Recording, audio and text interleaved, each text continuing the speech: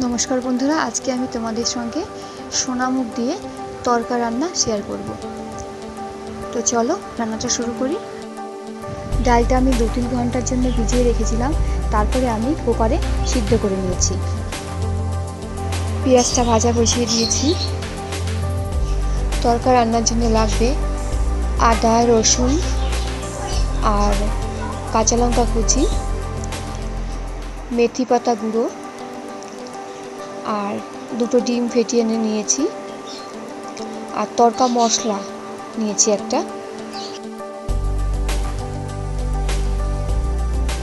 পেঁয়াজটা ভাজা হয়ে গেলে আদা কুচি, রসুন কুচি আর কাঁচা লঙ্কা কুচি দিয়ে ভালো করে কষে নিতে হবে।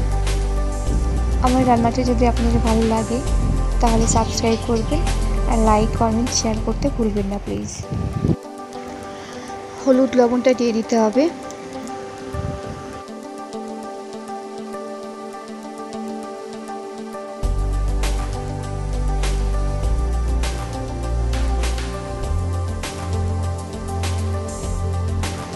হলুদ লবণ দেওয়ার পরে ফ্যাটানো ডিমটা দিয়ে ভালো করে ভেজে নিতে হবে।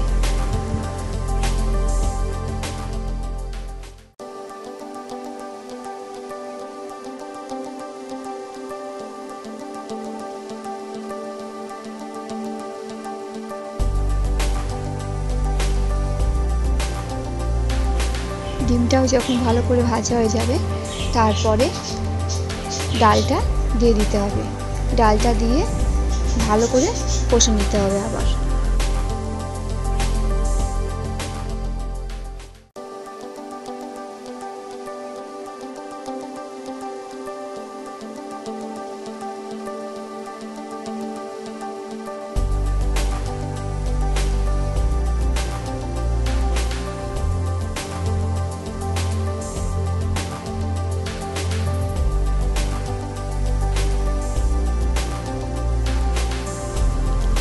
পুরো তরকা মশলাটা আমি দিয়ে দেব।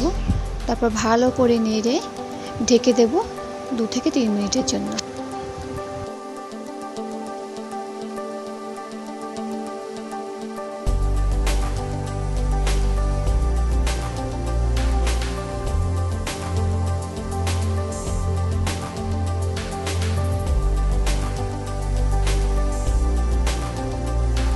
ঢাকনা খুলে এক চামচ চিনি দিতে হবে।